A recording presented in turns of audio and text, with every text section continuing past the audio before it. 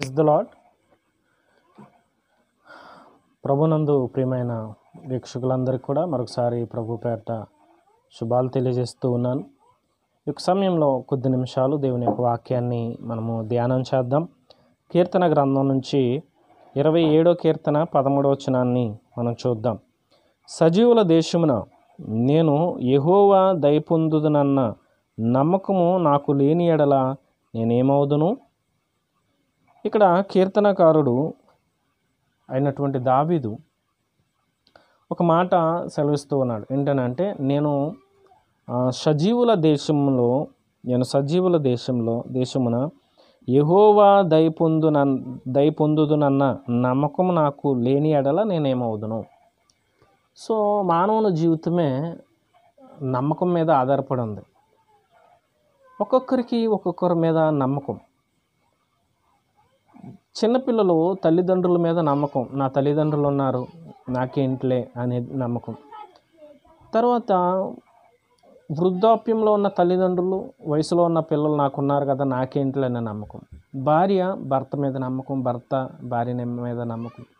ఇలా చూసుకుంటే ఒక్కొక్కరికి ఒక్కొక్కరి మీద నమ్మకం. మరికొందరైతే ఆ, ధనం మీద నమ్మకం ఆస్తి మీద నమ్మకం. అంటే అవి అవి మమ్మల్ని కాపాడతాయి అవి మమ్మల్ని నిలబెడతాయి అనేటువంటి ఆధారంగా ఉంటాయి అనేటువంటి నమ్మకం.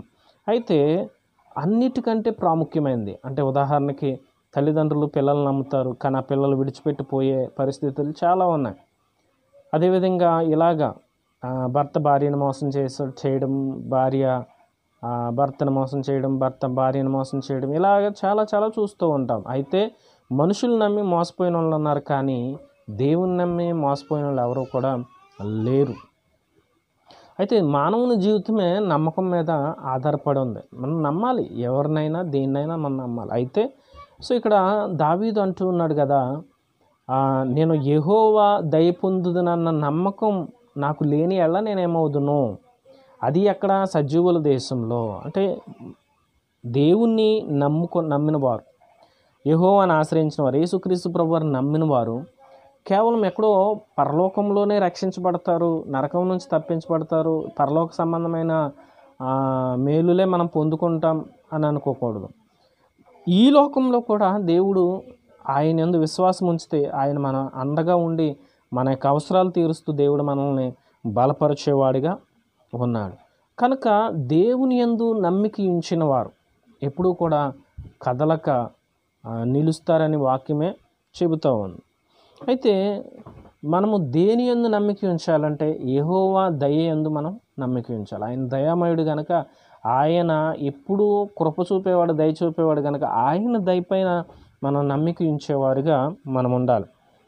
సో కీర్తన అంటున్నాను నిజమే. నాకు దేవుని దయ నాకు లభిస్తుందనే నమ్మకం నాకు లేకపోతే నేనేమవుతాను? నిజంగా మనకి మన జీవితంలో నమ్మకం లేకపోతే విశ్వ ఆశ అనేది లేకపోతే మన జీవితం అనేది ముందుకి వెళ్ళదు. అయితే దేవుణ్ణి మనం నమ్మినప్పుడు ఎలా నమ్మాలి? బలముగా నమ్మాలి. దేవుని అందు విశ్వాసం ఉంచినప్పుడు మనం ఏ దేవుని అందు ఎలా విశ్వాసం ఉంచాలంటే ఎలాంటి లోపం లేనటువంటి పరిపూర్ణమైన విశ్వాసం దేవుని మీద ఉంచాలి. ఒక చిన్న ఉదాహరణ నేను చెప్తాను. ఒక ఎనిమిది ఏడు సంవత్సరాల బాబు ఆడుకుంటూ ఆడుకుంటూ వెళ్ళి ఒక ఇరుకైన నీళ్ళ నీళ్ళు లేనటువంటి బావిలో పడిపోయాడు. సో ఆ నీళ్ళు లేని ఇరుకు బావుల నుంచి కేకలు వేస్తూ ఉంటే అటున దారిపోయేటువంటి ఒక వ్యక్తి ఆ మా ఆ కేకలు విని వెతుక్కుంటూ చుట్టూ చూశాడు కానీ ఎవరు కనబడట్లే. అలా వెతుక్కుంటూ ఆ కేకలు వింటూ వింటూ అలా ముందుకెళ్ళినప్పుడు ఆ నీళ్ళు లేనటువంటి ఆ ఇరుకైన బావిలో ఆ బాలుడు పడిపోవడం గమనించి సో అతను ఒక చుట్టూ చూస్తూ ఒక తాడు దొరికిన దగ్గరలో తాడు కిందకి వేశాడు ఆ బావిలోకి.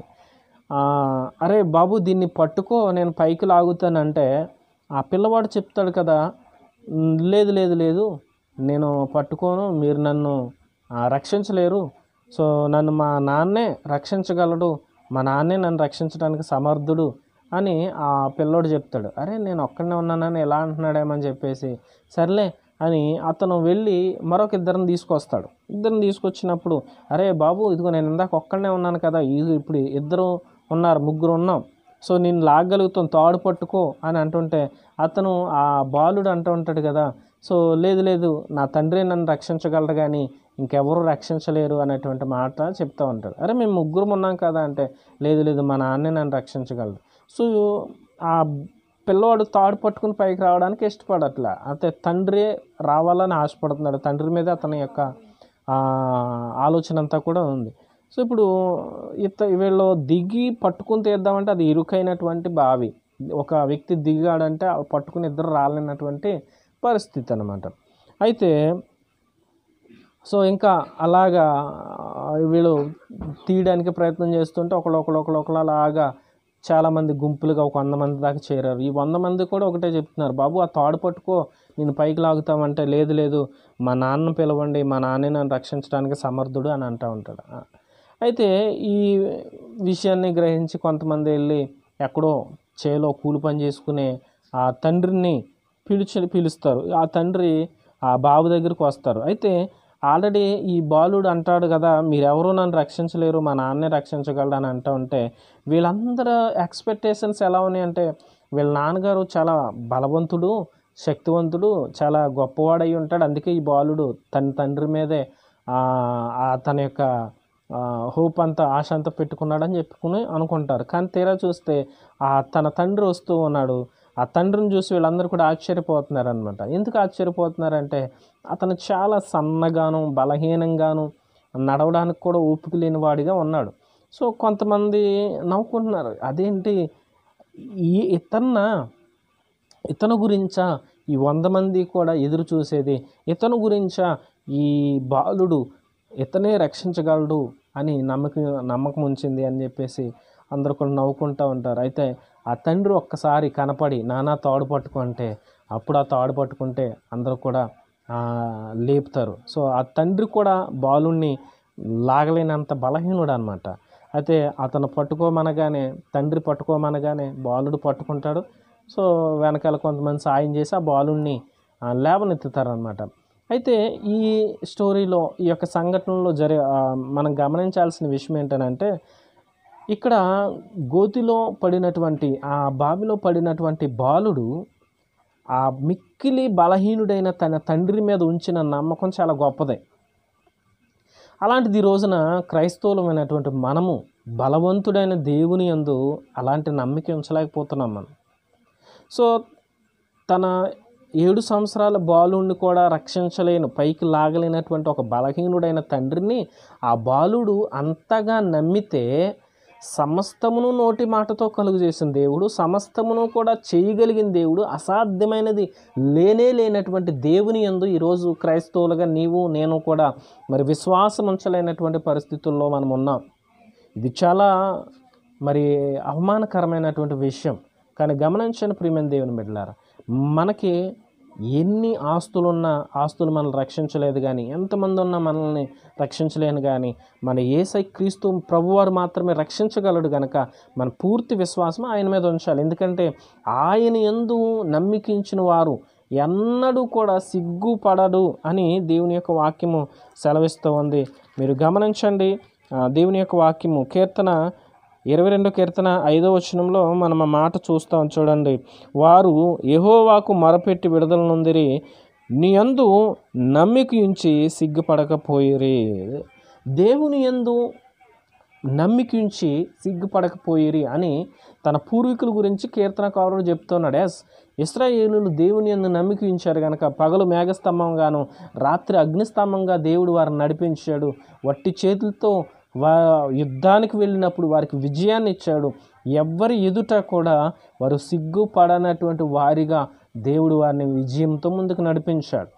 సో కనుక అలాంటి సమర్థుడు మన దేవుడు ఆ సమర్థుడి మీద బలవంతుడి మీద మన బలమైనటువంటి నమ్మకాన్ని మనం ఉంచాలి. షడ్రగ్ మేషే గబెద్నగోలు నెబుకద్నేజరు ఆజ్ఞకు లోబడకుండా దేవుని పక్షాన వారు నిలబడ్డారు. ఆ నెబుకద్నేజర్ ఒక అవకాశం ఇస్తాడు. ఇదిగో ఈ ప్రతిమకి మీరు మొక్కండి లేకపోతే సాగిలిపడండి లేకపోతే నేను మిమ్మల్ని వే మిక్కిలి వేడిమి గల అగ్నిగుండంలో పడేస్తాను అని చెప్పేసి అన్నప్పుడు షడ్రగ్ మిషేగ్ అభజ్ఞగోలు చెప్పిన మాట ఇదిగో నెబుకద్నేజరు ఒక రాజుని పేరు పెట్టి పిలుస్తారు వాళ్ళు. ఇదిగో నెబుకద్నేజరు ఇదిగో నీకు భయపడవలసిన అవసరం మాకు లేదు. మమ్మల్ని ఇంత అగ్నిగుండంలో పడవేసిన మా దేవుడు మమ్మల్ని రక్షించడానికి సమర్థుడు. ఒకవేళ రక్షించకపోయినను మేము అగ్నిగుండంలో మేము పడిపోతాం తప్ప మా దేవుని మేము వదిలిపెట్టమనన్న అది విశ్వాసం. అది నమ్మకం అంటే నమ్మకం. సో మా దేవుడు మమ్మల్ని రక్షించడానికి సమర్థుడు. వారిని వారు వారు నమ్మారు. అలాంటి నమ్మకం ఈరోజు నీకు నాకు ఉండాలి. అలాంటి బలమైన విశ్వాసం మనకున్నప్పుడు మన జీవితంలో జరగని కార్యాలంటూ ఏమీ ఉండదు. మనం పొందుకొని మేలంటూ కూడా ఏది ఉండదు. కాబట్టి ప్రభు ఎందు మన విశ్వాసం ఉంచుదాం. ప్రభు బలమైన వాడు శక్తివంతుడు ఆయనకు అసాధ్యమైనది లేదు. ఒక బలహీనుడైన తండ్రినే ఒక బాలుడు అంతగా నమ్మినప్పుడు ఈరోజు బలవంతుడైన దేవుని తండ్రిని కలిగినటువంటి మనము ఇంకెంత నమ్మకం కలిగి ఉండాలి? గమనించి ఆ ప్రభువుని మనం బలంగా నమ్ముదాం. బలమైన కార్యాలు మనం చూడగలుగుతాం. నీ దేవుణ్ణి నమ్మితే నిన్ను ఆయన సిగ్గుపడనీయడని వాక్యం సెలవిస్తాం షడ్రగ్ మెషక్ అగ్నిగుండంలో పడేసినప్పుడు వారి కాలిపోతే సిగ్గుపడుదురేమో కానీ దేవుడు కాలనివ్వకుండా వారిని సిగ్గుపడనక్కర్లేని వారిగా. అక్కడే దేవుడు వారిని మరలా హెచ్చించాడు. సో నీ దేవుడు నిన్ను సిగ్గుపడినాడు ఇస్రాయేల్ ఐగుప్తులోంచి విడిపించిన దేవుడు. వారు ఎన్ని వారు ఎన్ని రకాలుగా ప్రభువును బాధ పెట్టినా వారిని విడిపించి వారిని విడిపించినటువంటి దేవుడు క్షేమంగా కానాన్ దేశానికి నడిపించాడు. దేవుడు వారి చేయి విడిచిపెట్టలేదు. దేవుడు మనల్ని సిగ్గుపడనిచ్చేవాడు కాదు. దేవుడు మనల్ని సిగ్గుపడినేడు గనక ఆయన మీద బలమైన నమ్మకం ఉంచుదాం. నమ్మకంతో ముందుకు సాగిపోదాం. బలమైన కార్యాలు మనం చేద్దాం. నీ దేవుడు సిగ్గుపడినేయుడని మరొకసారి నువ్వు అర్థం చేసుకోవాలి. నీ దేవుడు నిన్ను సిగ్గుపడినేయుడు. అప్పులతో ఇదిగో నీవు విసిగిపోతూ ఉన్నావా? అప్పుల కోపంలో మునిగిపోయి ఉన్నావా? ప్రభు ఎందు నమ్మికించి శ్రమపడు కష్టపడు దేవుడు నిన్ను సిగ్గుపడనీయడు గృహం లేదని ఇల్లు లేదని స్థలం లేదని అద్దె కొంపలు తిరగలేక విసిగిపోతూ ఉన్నావా? అనేక మంది చేత అవమానాలు పాలు పొందుతున్నావా? భయపడకు నీ దేవుడు నిన్ను సిగ్గుపడనీయడు నీ దేవుడు నిన్ను సిగ్గుపడనీయడు నిన్ను అవమానం నిన్ను ఏమీ లేదని నిన్ను అవమానపరుస్తున్నారా? నువ్వేమీ తీసుకురాలేదని నువ్వేమీ తేలేదని నీ పుట్టింటోళ్ళు అల్పులని దుర్మార్గులని నేను అవమానిస్తూ ఉన్నారా? నువ్వు సిగ్గుపడినేడు దేవుడు. దేవుని ఎందు విశ్వాసం ఉంచు. నిన్ను సిగ్గుపడినేడు దేవుడు నిన్ను హెచ్చిస్తాడు బలపరుస్తాడు. దేవుడు ఉన్నతమైన స్థితికి నిన్ను నడిపిస్తాడని బలంగా నువ్వు నమ్ము. నీ నమ్ముకు చెప్పిన దేవుడు నిన్ను ఉన్నత స్థానానికి నడిపిస్తాడు. నిన్ను సిగ్గుపడనిచ్చేటువంటి దేవుడు కాదు. చదువు రాదని నిన్ను అవమానపరుస్తూ ఉన్నారా? ఉద్యోగం లేదని నిన్ను నిందిస్తూ ఉన్నారా? నిన్ను చులకనగా చూస్తూ ఉన్నారా? సిగ్గుపడనిచ్చే దేవుడు కాదు గనక. ఆయనందు విశ్వాసం ఉంచి నీ ప్రయత్నాలు ముందుకు కొనసాగించు. నీ దేవుడు నిన్ను బలముగా ముందుకు నడిపిస్తాడు. ఆశీర్వదిస్తాడు. ఎవరైతే నిన్ను చిన్న చూపు చూస్తున్నారో ఎవరైతే నిన్ను హేళన చేస్తున్నారు ఎవరైతే నిన్ను అవమానిస్తున్నారో వారి అందరి ఎదుటని దేవుడు నిన్ను ఉన్నతమైన స్థితికి నడిపిస్తాడు. దేవుని యొక్క కాపుదల కృప చేత నిన్ను బలపరుస్తాడు. అట్టి కృప దేవుడి ఆశీర్వాదం నీకుండును గాక. దేవుడు నీ విశ్వాసాన్ని పెంపొందింపచేసి నీ నమ్మకాన్ని బలపరచును గాక. God bless you. దేవుడు మిమ్మల్ని దీవించిన కాక గాడ్ బ్లెస్ యూ.